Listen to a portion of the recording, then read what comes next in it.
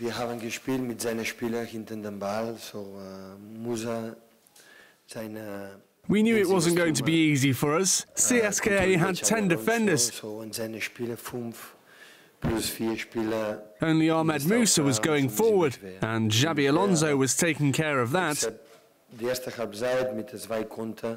Die erste Halbzeit mit zwei Konter haben wir gelassen, zugelassen. But nevertheless, we've missed two counterattacks.